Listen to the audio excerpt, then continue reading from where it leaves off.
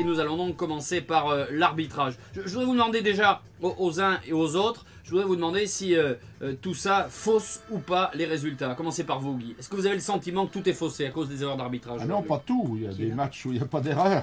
Non, non, mais un entraîneur, il a le droit de se tromper. Et il se trompe bien souvent. Un joueur a le droit de se tromper. Et il se trompe bien souvent. Et l'erreur, elle est humaine. Maintenant, si vous connaissez un robot qui se trompera jamais, on le met sur le terrain, il n'y a pas de problème. Tu fais trois matchs super, t'es dehors. Non, non, non, c'est pas, pas vrai. Ça a débattu sévère là sur, euh, sur l'arbitrage là. Ouais, mais c'est un sujet aussi. euh, Qui s'y prête. qui s'y prête, ouais, ouais, c'est vrai, c'est vrai. Et c'est sympa alors justement de pouvoir discuter comme ça à bâton rompu. euh. Enfin, à bâton rompu, il y a quand même des auditeurs. Hein Oui, Ouais mais j'ai pas l'impression que, ce soit le, le souci parce que vous y êtes allé quand même bien fort. ah, en plus. mais le talent de ceux-là, c'est Ouais, justement de ouais. savoir, euh, d'avoir l'air totalement naturel en étant en même temps contrôlé. Alors ça va Guy, c'est un plaisir alors de venir euh, un petit peu discuter comme ça euh, avec tout le monde. Ah ben c'est mon, c'est un peu mon métier maintenant. hein. Ça fait trois ans que je fais les lundis soirs, donc je suis très content de les faire. et Très, très fier de les faire sur Europe 1.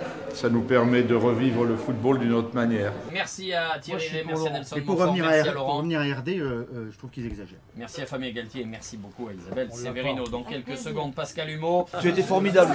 Taquine, Isabelle. Ah tu reprends pas le rôle de Pierre quand même, déconne pas.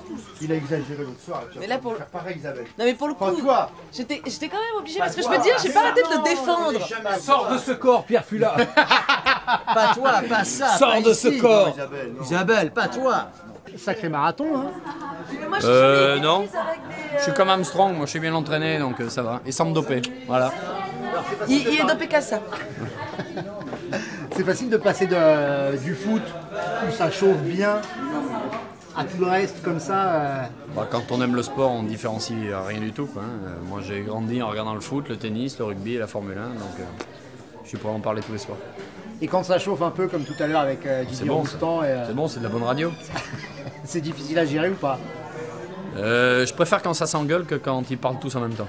On se fait plaisir. Ah oui. On a un beau casting. Merci.